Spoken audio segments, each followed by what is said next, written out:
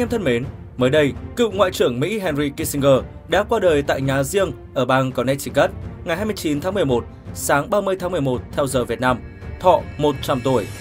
Ông Kissinger phục vụ dưới thời hai Tổng thống Mỹ, để lại dấu ấn mạnh mẽ trong chính sách đối ngoại của Mỹ. Dấu ấn đặc biệt trong sự nghiệp của ông Kissinger là đã tham gia vào quá trình đàm phán Hiệp định Paris về chấm dứt chiến tranh, lập lại hòa bình ở Việt Nam năm 1973. Thế nhưng trong một lần phát biểu trước báo chí quốc tế, ông từng nói, tôi có thể làm tốt hơn nếu như đối diện trên bàn đàm phán không phải là ông Lê Đức Thọ.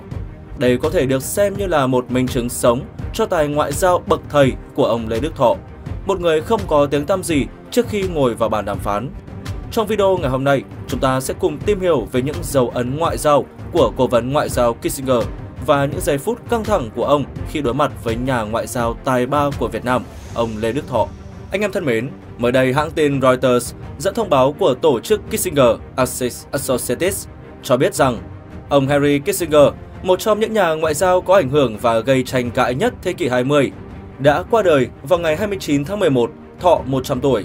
Sau khi rời chính phủ vào năm 1977, ông Kissinger, người từng giữ chức ngoại trưởng và cố vấn an ninh quốc gia dưới thời hai đời tổng thống là tổng thống Richard Nixon và tổng thống Gerald Ford, vẫn đóng góp tiếng nói nổi bật về các vấn đề chính sách đối ngoại của Mỹ mãi sau này. Tôi làm việc khoảng 15 giờ mỗi ngày, cựu ngoại trưởng nói với đài truyền hình CBS News vài tuần trước khi bước sang tuổi 100 và tự tin khẳng định các nhà lãnh đạo thế giới như Chủ tịch Trung Quốc Tập Cận Bình hay Tổng thống Nga Vladimir Putin có thể sẽ trả lời nếu như ông gọi đến. Ông sinh ra ở Đức vào ngày 27 tháng 5 năm 1923. Tên thật là Hans Alfred Kissinger. Trước đây 3 tháng trước sự kiện Kristallnacht, đêm kính vỡ, nhằm vào người Do Thái vào năm 1938, gia đình của ông chạy trốn khỏi Đức Quốc xã và định cư tại thành phố New York, nơi ông đổi tên thành Henry. Sau năm đầu tiên tại trường trung học George Washington, ông tham gia các lớp học ban đêm khi ban ngày phải làm việc trong một nhà máy sản xuất bàn trải cạo dầu. Sau khi tốt nghiệp, ông đăng ký học ngành kế toán tại trường cao đẳng thành phố New York. Tuy nhiên, ông gia nhập quân đội ngay sau sinh nhật thứ 19. Kissinger trở về quê hương với tư cách là thông dịch viên tiếng Đức trong lực lượng bộ binh Mỹ. Ông cũng tham gia bắt giữ các thành viên tình báo Gestapo và giúp giải phóng các tù nhân khỏi trại tập trung Alem. Theo cuốn tiểu sử về Kissinger do nhà văn Isaacson chấp bút, khi trở về Mỹ sau chiến tranh, ông Kissinger đăng ký học tại Harvard. Tại đây, bài luận án của ông về ý nghĩa của lịch sử đã trở thành huyền thoại. Với gần 400 trang, nó dài hơn bất kỳ luận án đại học nào trước đây và được cho là đã đưa ra tiêu chuẩn Kissinger, giới hạn độ dài đối với luận văn của sinh viên trong tương lai. Trong những năm tiếp theo, ông Kissinger hoàn thành bằng tiến sĩ tại Harvard và ở lại giảng dạy. Năm 1957, ông được bổ nhiệm làm phó giám đốc ban chính phủ và trung tâm quan hệ quốc tế của Harvard. Ông cũng là nhà tư vấn cho một số cơ quan chính phủ, bao gồm cả Bộ Ngoại giao Mỹ. Những thành tựu đóng góp trong quan hệ quốc tế Năm 1968, Tổng thống Mỹ lúc bấy giờ là Nixon chọn Kissinger làm cố vấn an ninh quốc gia và trong nhiệm kỳ thứ hai đã bổ nhiệm ông làm ngoại trưởng. Kissinger là người đầu tiên đảm nhiệm cả hai vai trò cùng một lúc và giữ cả hai chức danh trong chính quyền Tổng thống Ford sau khi người tiền nhiệm Nixon từ chức. Lối tiếp cận Liên Xô và Trung Quốc của cựu Ngoại trưởng Kissinger được nhiều người coi là tái định hình đường đi của chiến tranh lạnh. Ông đã đàm phán các cuộc đàm phán về hạn chế vũ khí chiến lược và hiệp ước chống tên lửa đạn đạo với Liên Xô, làm giảm căng thẳng giữa hai siêu cường hạt nhân. Ông Kissinger đã dàn xếp cho cuộc viếng thăm của Tổng thống Nixon tới Liên Xô vào năm 1972. Trong cuộc gặp lịch sử này, Hiệp ước SALT 1, Hiệp ước chống tên lửa đạn đạo ABM và các hiệp định cơ bản khác đã được ký kết.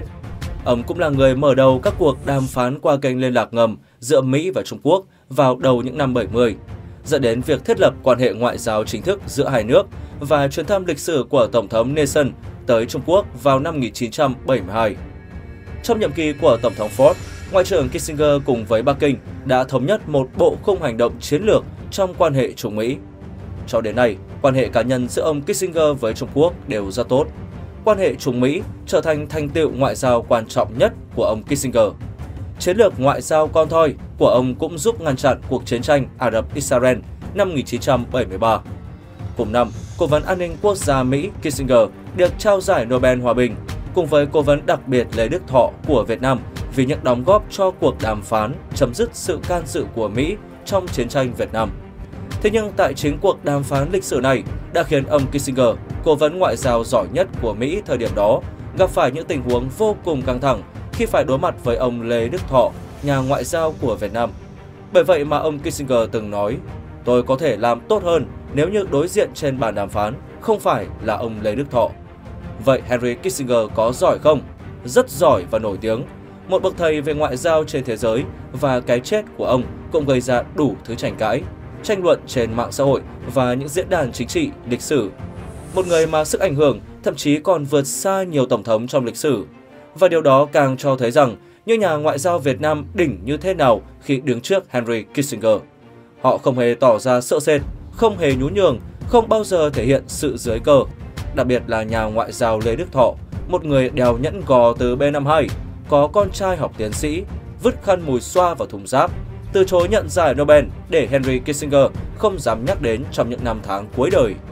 3 năm, từ năm 70 đến năm 72, hai ông Lê Đức Thọ và Henry Kissinger trải qua hàng chục phiên đàm phán căng thẳng tại Paris để chấm dứt chiến tranh, lập lại hòa bình ở Việt Nam.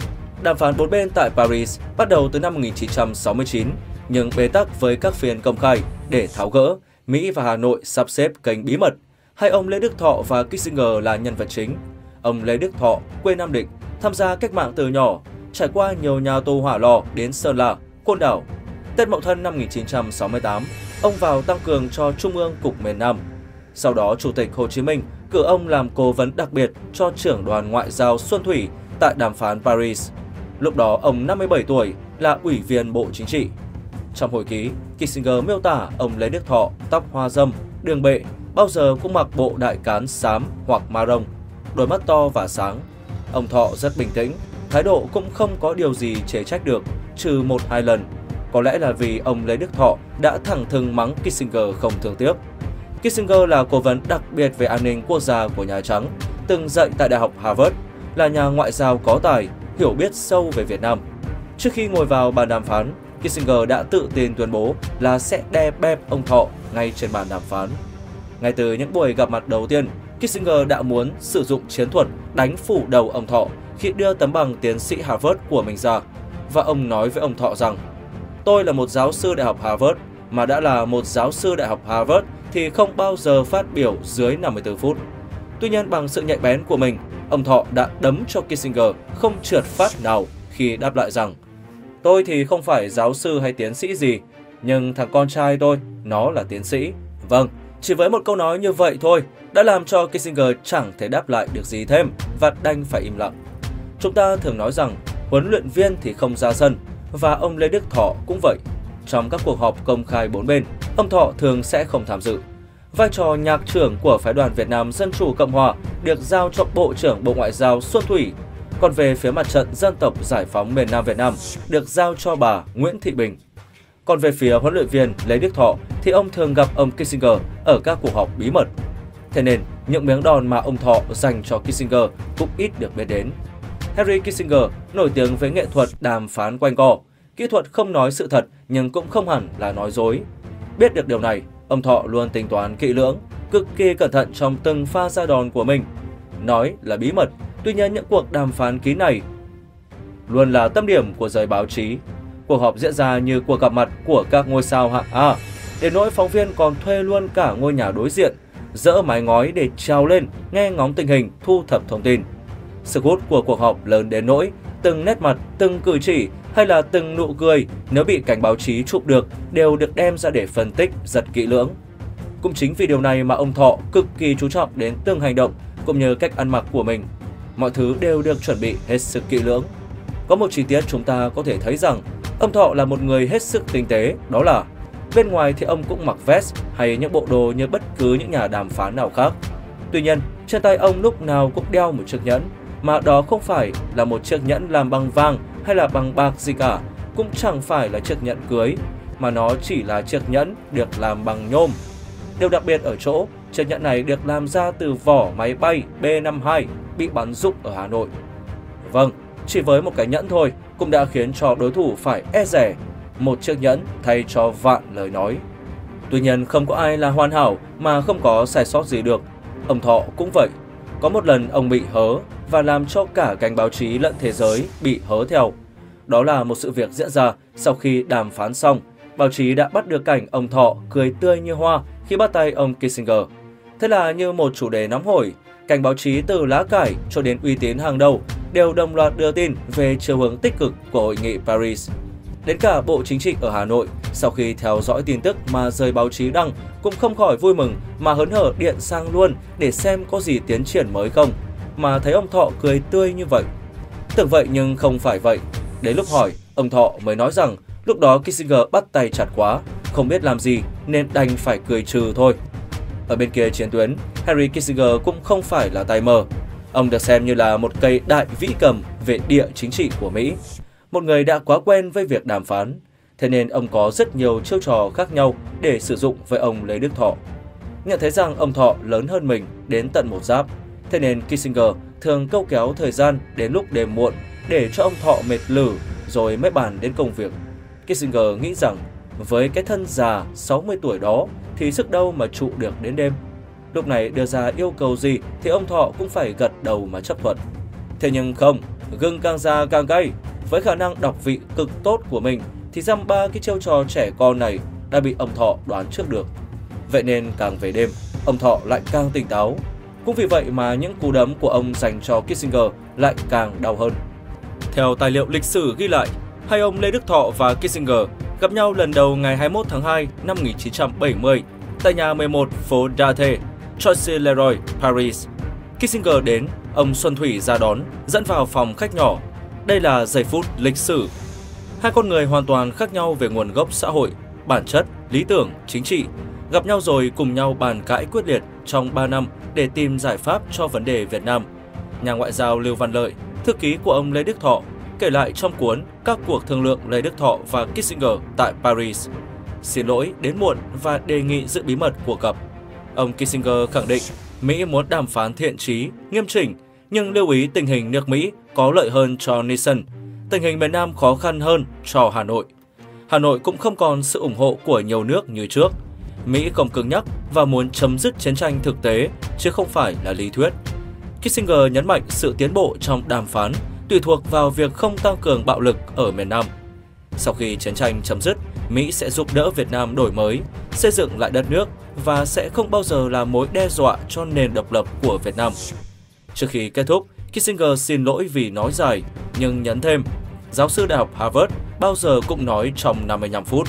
Chiều cùng ngày, ông Lê Đức Thọ nói Kissinger đánh giá không đúng thực tế chiến trường. Đó là quyền của ông. Suốt 15 năm qua, khi đánh giá tương quan lực lượng hai bên, các ông rất sai về chúng tôi. Ông Lê Đức Thọ nói và không quên nhắc Việt Nam hóa chiến tranh bắt đầu thất bại. Cố vấn của đoàn Hà Nội khẳng định dù Mỹ tiếp tục thế nào cũng không thay đổi được chiều hướng cuộc chiến. Dân tộc tôi bị người ta lừa gạt nhiều rồi, muốn giải quyết vấn đề thì phải thành thật. Ông Thọ nói. Trước khi kết thúc bài phát biểu, ông Thọ nhấn mạnh, trong hai con đường hòa bình và chiến tranh, các ông nên chọn lấy một. Nếu các ông chọn con đường hòa bình thì chúng ta có thể giải quyết vấn đề một cách hòa bình. Đầu tháng 10 năm 72, sau khi Hà Nội đưa ra dự thảo Hiệp định Paris, hai ông Lê Đức Thọ và Kissinger cơ bản thống nhất được nhiều điều khoản và dự tính mốc thời gian ký. Kissinger nói sẽ đến Hà Nội ký tắt. Ông Thọ hài hước, có khi phải nhảy dù, bởi lúc đó qua sông Hồng phải đi cầu phao. Nhưng sau đó, Mỹ trì hoãn thực hiện và Kissinger không đi Hà Nội như dự kiến. Cuộc gặp tháng 11, ông Kissinger cố làm dịu không khí bằng lời mời ông Lê Đức Thọ giảng tại Đại học Harvard. Đáp lại, ông Thọ đọc bài chuẩn bị sẵn, dài 5 trang, nêu thiện chí của Hà Nội và tố cáo sự lật lọng của Mỹ. Chúng tôi đã bị người Nhật, người Pháp, người Mỹ lừa dối, nhưng chưa bao giờ trắng trợn như lần này. Ông Thọ gay gắt và hỏi Kissinger. Ông từng nói cần thiết phải hiểu biết và tin cậy lẫn nhau, rồi ông lật ngược đi thì ông nghĩ chúng tôi hiểu ông là người như thế nào. Kissinger thanh minh cuộc chiến kéo dài nên khi đi đến gần giải pháp mới thấy những vấn đề phức tạp chưa kịp nghĩ tới. Hứa hẹn có thể làm xong phần lớn văn bản trong tuần này Tuy nhiên, ông đòi sửa lại hầu hết chương trong hiệp định, nhất là về ngừng bắn, rút quân, chính trị nội bộ miền Nam. Mỹ đòi xóa tên chính phủ cách mạng lâm thời Cộng hòa miền Nam Việt Nam trong lời mở đầu và các chi tiết khác trong hiệp định. Dù tất cả lực lượng không phải miền Nam khỏi miền Nam, không công nhận có hai chính quyền, hai quân đội, hai địa bàn ở miền Nam. Kissinger cũng không nói gì về trách nhiệm hàn gắn vết thương chiến tranh ở Việt Nam. Nhà ngoại giao Lưu Văn Lợi kể ông Lê Đức Thọ đã nhắc lại Nixon từng trao công hàm cho Hà Nội, khẳng định hiệp định xem như hoàn thành và phê phán những luận điểm của Kissinger. Ông Thọ nêu rõ vai trò của chính phủ cách mạng lâm thời ở miền Nam và trên trường quốc tế. Nhiều năm nay, miền Nam đã có 3 vùng do chính quyền Sài Gòn, quân giải phóng kiểm soát và vùng tranh chấp. Kissinger đòi xóa bỏ các vùng do chính phủ cách mạng lâm thời, quân giải phóng, kiểm soát là điều mà quân Mỹ và Sài Gòn không làm được từ trước đến nay. Đề nghị này là vô lý. Việc Mỹ đòi quân miền Bắc rút khỏi miền Nam bị ông Thọ bác bỏ. Nhân dân Việt Nam có quyền chống xâm lược và không thể đặt việc rút quân miền Bắc ngang hàng với rút quân Mỹ. Đặt vấn đề như vậy là không chính đáng, trái đạo lý, chính trị, pháp lý. Ông Thọ phản biện Kissinger. Ông Thọ giữ nguyên quan điểm Hà Nội thả tù binh Mỹ thì Sài Gòn thả hết cả nhân viên dân sự miền Nam còn bị bắt giữ. Ông thấy thế giới có cuộc chiến tranh nào giữa các bên khi chấm dứt rồi, một bên trao trả người bị bắt, còn bên kia giữ lại không? Ông Thọ tiếp tục chất vấn Kissinger. Kissinger đồng ý một số đề nghị của ông Lê Đức Thọ, nhưng hai bên còn nhiều tranh cãi. Ông Thọ có lần hỏi thẳng, các ông có muốn đàm phán nữa không? Nếu ông cố vấn không muốn thì chúng tôi cũng thôi, mà muốn bàn nữa thì chúng tôi bàn, nhưng phải có đi có lại. Hiệp đấu cuối cùng Ngày 18 tháng 12 năm 1972, khi ông Lê Đức Thọ vừa từ sân bay Gia Lâm về tới nhà, thì máy bay B-52 của Mỹ bắt đầu dội bom xuống Hà Nội, Hải Phòng và nhiều thành phố khác. Nhưng kế hoạch đánh bom nhằm lật ngược tình thế của Nixon thất bại. Các cuộc gặp giữa ông Lê Đức Thọ và Kissinger được nối lại đầu năm 1973. Đây cũng là hiệp đấu cuối cùng giữa hai người để đi đến ký kết hiệp định. Cố vấn Lê Đức Thọ tới Paris trong hào quang trận Điện Biên Phủ trên không. Ông Lưu Văn Lợi miêu tả, khác với thường lệ, đoàn Việt Nam không ra đón Kissinger ngoài cổng. Hà Nội biểu thị sự lạnh nhạt với người Mỹ. Sau 12 ngày đêm khói lửa trên bầu trời Hà Nội, các ông lấy cớ đàm phán gián đoạn để ném bom miền Bắc Việt Nam lúc tôi vừa về đến nhà. Hành động của các ông trắng trợn và thô bạo. Các ông tưởng làm như vậy có thể khuất phục được chúng tôi, nhưng các ông đã nhầm. Chính các ông làm cho đàm phán khó khăn, danh dự nước Mỹ hoài nố. Ông Lê Đức Thọ phê phán Mỹ. Ông Kissinger thanh minh Cách đàm phán của Hà Nội cuối năm 72 khiến Washington cho rằng muốn kéo dài, không giải quyết vấn đề. Khi Kissinger đề nghị không chỉ trích nữa, ông Thọ đáp, Tôi kiềm chế lắm rồi, chứ dư luận thế giới, nhà báo và các nhân vật ở Mỹ còn dùng câu chữ dữ dội hơn nhiều. Cách ký hiệp định là vấn đề kỹ thuật, nhưng được bốn bên tham gia đàm phán quan tâm. Ông Lê Đức Thọ đòi hai bên ký và bốn bên ký. Kissinger không đồng ý đề ra 3 phương án nhưng đều không có tên chính phủ cách mạng lâm thời Cộng hòa miền Nam Việt Nam. Sau đó, Kissinger đề nghị hai bên ký, bốn bên ký, nhưng trong bản bốn bên thì mỗi bên ký một tờ riêng biệt và cả bốn tờ gộp chung vào hiệp định. Người ký đều ghi chức vụ, hai bên thỏa thuận như vậy. Ông Lê Đức Thọ đề nghị thêm nghị định thư về bồi thường. Kissinger nói Mỹ sẽ đóng góp vào hàn gắn vết thương chiến tranh, nhưng không nên có nghị định thư khi tù binh Mỹ chưa được thả và số tiền cần Quốc hội thông qua. Vì vậy, hai bên sẽ trao công hàm và bàn sau. Ông Thọ đồng ý. Ngày họp cuối hôm 13 tháng 1 năm 73, Kissinger đề nghị lễ ký không đọc diễn văn và chỉ chúc từng người bên ngoài. Đó là ngày trang trọng ở Mỹ, ở Việt Nam càng trang trọng hơn. Vì vậy chúng ta nên khởi đầu với thái độ hoa giải, quảng đại, nồng nhiệt với nhau. Kissinger nói và ông Thọ đồng ý. Kết thúc ngày họp cuối, hai đoàn ăn cơm chung, ông Lê Đức Thọ nâng cốc với Kissinger nói đây là kết quả bước đầu nhưng rất quan trọng và cơ bản để lập lại hòa bình ở Việt Nam. Kissinger đáp, đến lúc này hòa bình sẽ trở lại Đông Dương với hai dân tộc chúng ta vào ngày ký hiệp định. Ngày 23 tháng 1 năm 73, sau khi ký tắt Hiệp định Paris, Kissinger trao bút cho ông Lê Đức Thọ và nói tôi tặng ông cái bút này để nhớ mãi ngày lịch sử. Ông Lê Đức Thọ tặng lại Kissinger bút của mình, dặn ông ký rồi phải giữ lời nhé. Anh em thân mến, sau khi Hiệp định Paris về chấm dứt chiến tranh, lập lại hòa bình ở Việt Nam được ký ngày 27 tháng 1 năm 73, hai ông Lê Đức Thọ và Kissinger được trao giải Nobel Hòa bình. Tuy nhiên, ông Thọ từ chối nhận về lý do Mỹ gây chiến tranh xâm lược ở Việt Nam. Một bên đi xâm lược, một bên chống lại quân xâm lược để giải phóng dân tộc mình, không thể cùng chia nhau giải Nobel Hòa bình. Hơn nữa, hòa bình chưa thực sự hiện diện ở Việt Nam, đất nước vẫn còn bị chia cắt. Bởi vậy khi đó, lấy ý tưởng từ Tam Quốc Chí, giới báo chí phương Tây đã từng ví von ngắn gọn về cuộc đối đầu đặc biệt này, rằng trời đã sinh Kissinger, sao còn sinh thêm Lê Đức Thọ. Thay mặt ekip kênh Hồi ức Thời Chiến, cảm ơn anh em đã theo dõi video đến phút cuối cùng. Anh em đừng quên ấn đăng ký kênh để ủng hộ chúng mình mỗi ngày nhé. Bây giờ mời anh em xem thêm những video hay nhất của Hồi ức Thời Chiến đang được hiển thị trên màn hình. Xin chào và hẹn gặp lại tất cả anh em ở video lần sau.